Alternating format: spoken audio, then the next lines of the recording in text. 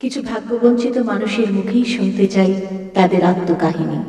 তাদের জীবন যেখানে যেমন, ঠিক তেমনভাবেই উপস্থাপন করতে চাই জীবন যেখানে যেমন অনুষ্ঠানটিতে।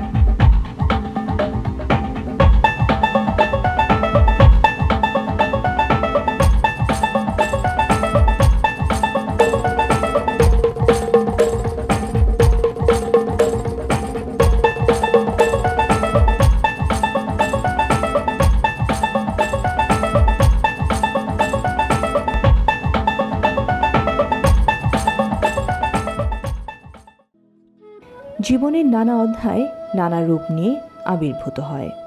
মানব জীবনের জন্ম, বিবাহ, মৃত্যু শুধু একটি জীবনের কথা নয়, একটি জীবনের শুরু ও শেষের সাথে ছড়িয়ে থাকে কাছের অনেকগুলো মানুষের আনন্দ, হাসি, গান, বেদনা। যখন নিজ পরিবারের গণ্ডি থেকে বেরিয়ে একজন নারী বধূ রূপে অন্য এক পরিবারে আসে, তখন যার উপর ভর করে সে নতুন পরিবারে নতুন জীবনে প্রবেশ করে, যাত্রা শুরু করে, সে তার জীবনসঙ্গী। বিবাহিত জীবন নিয়ে কতই না স্বপ্ন বনে সে। সানাইয়ের সুর মুখে চন্দনের শয্যা, সিথিতে সিঁদুর মুহূর্তেই তাকে স্বপ্ন দেখাতে শেখায়। যে নিয়তি এমন স্বপ্নের জগতে আচ্ছন্ন করায়, সেই নিয়তি নির্মমভাবে যখন কেড়ে নেয় স্বামীকে, তখন নিয়তির নির্মম খেলায় ভেঙে যায় স্বপ্ন। বড় যত্নে লাগানো সিথির লাল সিঁদুর, মুছে ফেলে নিষ্ঠুর হাত, হাতে সধবার চিহ্ন, পলা আর শাখা খুলে ফেলা হয়। সধবা থেকে বিধবার এই যাত্রা যে কতটা কঠিন তা বোঝাতে তৎপর হয়ে পড়ে আত্মীয় পরিজন, পাড়াপড়শি, সমাজের মানুষ। যেন জীবনের এই নিষ্ঠুর যাত্রায় তাকে যত দ্রুত ঠেলে ফেলা যায় ততই সমাজের আনন্দ। যত নিষ্ঠুরভাবে তাকে বোঝানো যায়, বৈধব্যের জীবন কতটা কষ্টের, তত প্রশান্তি তাদের। পড়ে থাকে, শাখা পলা, খালি হয়ে যায় সিথি আর হৃদয় হাহাকারে আর্তনাদে, নীরবে নিভৃতে কাঁদে।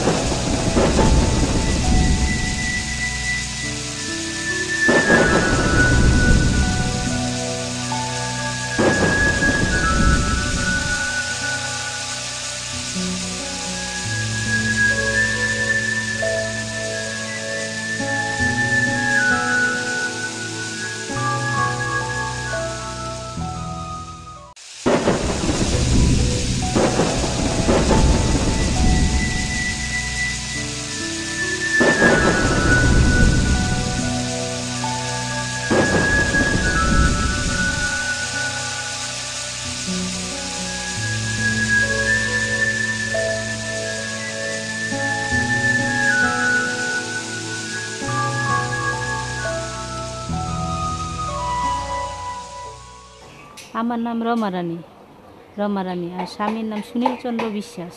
মায়ের নাম নিশি রানী, বাবার নাম অধীর চন্দ্র বিশ্বাস। পনেরো বছর আগে আমার বিয়ে হয়। মানে পারিবারিকভাবে আমাদের বিয়ে হয়। দুই সন্তানের মা আমি, এক ছেলে, এক মেয়ে আমার।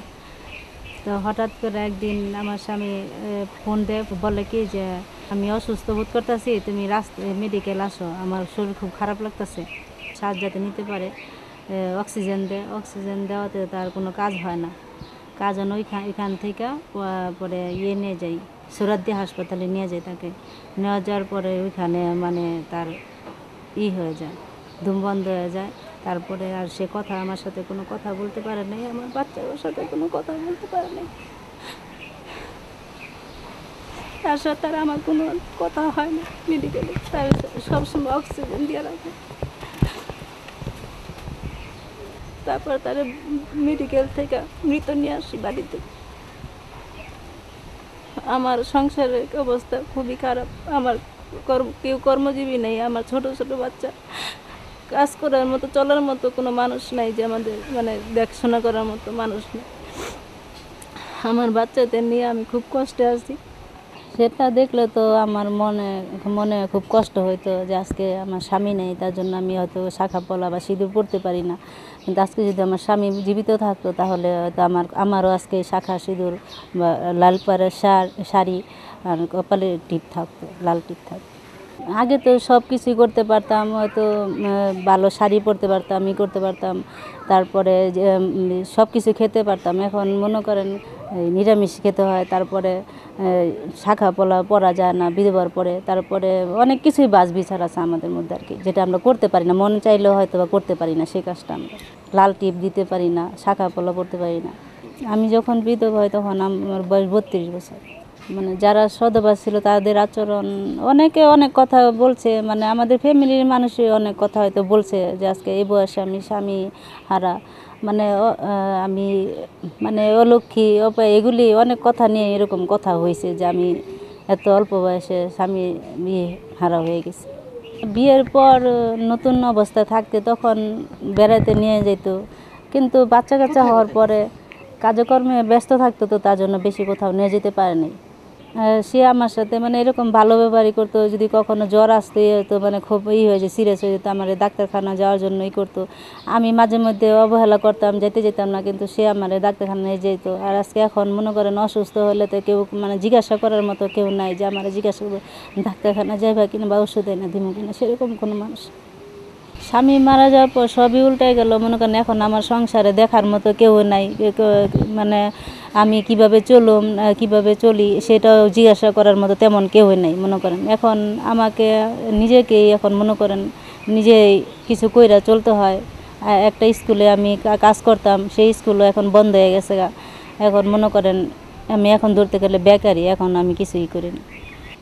বিধবার কারণে আমাকে উপোস করতে হতো। এগারো দিন পর্যন্ত মানে কোনো ভাত খাওয়া যায় না, শুধু ফল খেয়ে থাকতে হয়, আমরা ফলই খেয়ে থাকতাম সব।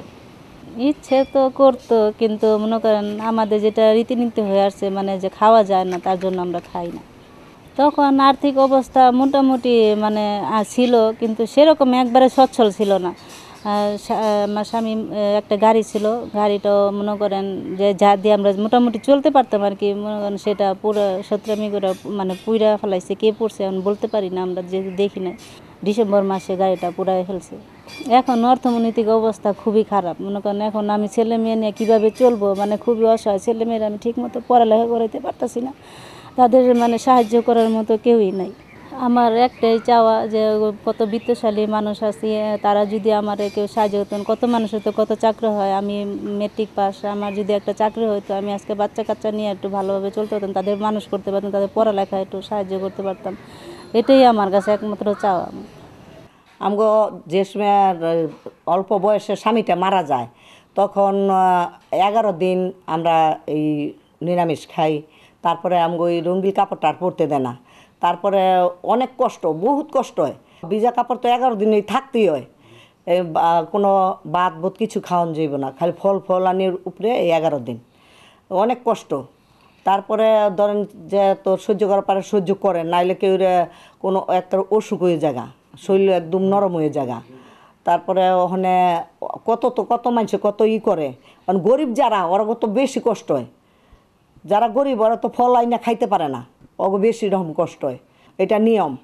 আমি মনে করি যদি সবাই যদি কিছু কিছুও দেয়, তারপরও চলে। এটা করে না কেউই। এটা কয়জন করে? কেউ ফিরেও তাকায় না। যদি সেরকম কইরা কেউ একটু সহযোগিতা করতো, হেরা চাকরি চুকরি দিত, তে বালা সচ্ছল দুইটা বাচ্চা লিয়ে চলতে পারতো, অন তো অনেক কষ্ট করে। এইবারে সেইবারে কয় টাকা টিউশন করে পায়? ছোট ছোট বাচ্চাকে পড়ায় পাঁচশো, এক হাজার টাকা দেয়, এটাকে সংসার চলে? সংসার চলে না। অনেক কষ্ট করে। হ্যাঁ শরীরের স্ত্রী অনেক বারো বছর জীবনযাপন করতেছে। শরীর কিছুদিন আগে, এক বছর আগে, প্রায় এক বছর আগে মারা গেছে। মারা যাওয়ার পর ওর দুইটা, একটা ছেলে, একটি মেয়ে রেখে গেছে। রেখে যাওয়ার পর ওনারা খুব মানবত জীবনযাপন করতেছে। উনি খুব কষ্টে আছে। ওরা শরীর মারা যাওয়ার আগে একটি গাড়ি রেখে গিয়েছিল। গাড়িটাও কিছু মারা যাওয়ার কিছুদিন পর দুষ্কৃতিকারীরা জ্বালিয়ে দিছে। এখন এই মেয়েটি খুব মানবত জীবনযাপন করে। দুইটা বাচ্চার লেখাপড়ার খরচ, চালানো, দুইটা বাচ্চাকে পড়াশ খাওয়া দাওয়া খুব কষ্ট হচ্ছে। আমরা সামাজিকভাবে চেষ্টা করি ওনাকে কিছু সাহায্য সহযোগিতা করার। কিন্তু আমরা চাচ্ছি যে ওনার যদি আর একটু হৃদয়বান কেউ যদি ওনাকে সাহায্য সহযোগিতা করতো বা মেয়েটি একটু শিক্ষিতও আছে, পড়াশোনা জানে এসএসসি পাস, তো ওরা যদি চাকরি বাকরির ব্যবস্থা করা যেত, তাহলে হয়তো উনি একটু উন্নত হতে পারতো। একটা মেয়ে যখন স্বামী হারা হয় এমনিতে অবলম্বন নষ্ট হয়ে যায়। তারপরেও তো হিন্দু রীতি অনুযায়ী ম্যাক্সিমামই হিন্দু বিধবা বিবাহ কম হয়। বিধবা বিবাহ অনেকে করে না। এই। বৈধব্য নিয়ে আসে একাকিত্ব। জীবনের বৈধব্যের একটি সময় তাও কেটে যায় সন্তান মানুষ করতে, সংসার সামলাতে। তারপর সন্তান বড় হয়। ওদের নিজস্ব গণ্ডি হয়। সেই গণ্ডিতে ব্যস্ত হয়ে পড়ে সন্তানরা, মা তখন দূরের কেউ। অচেনা কেউ হয়ে যায়। সে দুহাত বাড়ালে দৌড়ে বুকে ঠাঁই নেয়া সন্তানরা আর কাছে আসে না। হাত সরিয়ে নেয়, দূরে সরে যায়। তখন বার্ধক্যের সঙ্গী হয় নিজের ছায়া আর অনন্ত একাকিত্ব।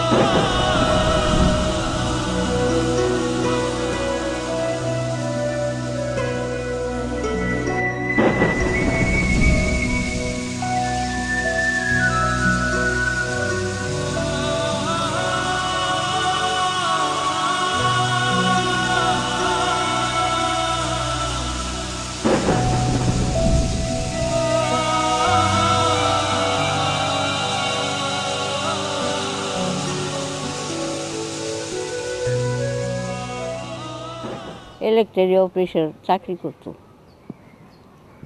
যে গুল্লি মারা রাখছে হ্যার চাকরি আর ই নাই, নিতে গেছে।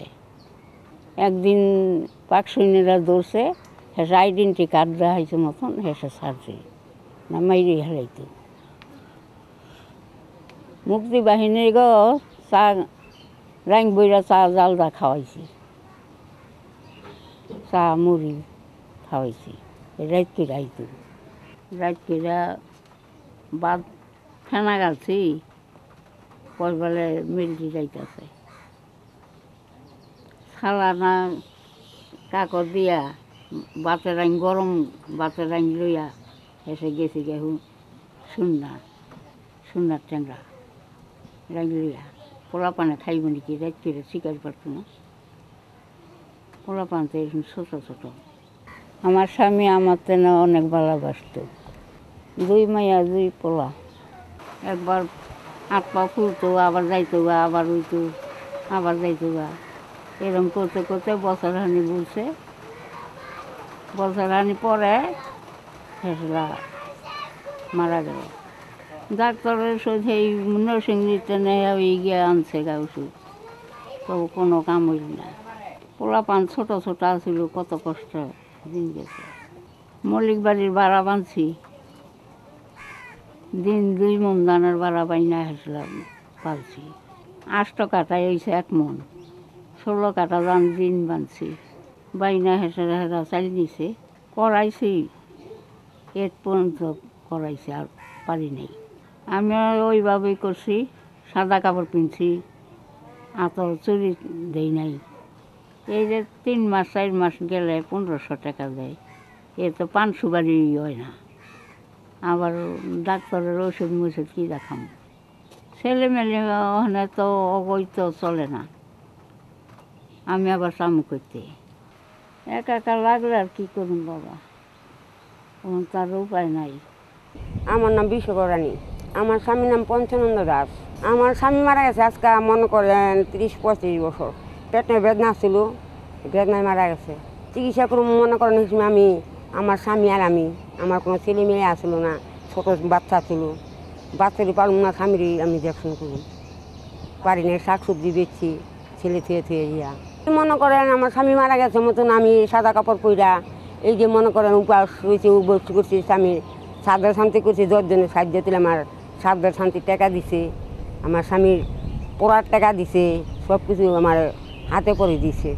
কষ্ট লাগতো আমি কি, সেইটা কি আর ই কইয়া পারছি সময় আমার মনের দুঃখ মনেই রাখছি। যে আমার আসার স্বামী থাকলে আমি তো পড়তাম। আমার স্বামী নেই এমন এই অবস্থা। আমার বালা ইয়েও কাছে দেখে গেলে আমার ভিতরে অন্যরকমই করতো। আমার মনে দুঃখ মনে লইয়ে লইয়ে আমি করতাম থাকতাম। অনেক আদর করতো আমার স্বামী। হ্যাঁ আগে মনে করেন তাঁতের কাজ করতো। তাঁতের কাজ থেকে দিয়ে আপনার লোয়ার কাজ করতো। আমার সা, আমার মনে করেন সিঁদুর সবসময় আমার কপড়া রয়েছে। আমরা তো আগের দিন গেমে সেটা চুনু ব্যবহার করতাম না। আম আমগো সিঁদুর সবসময় কপালেই থাকতো।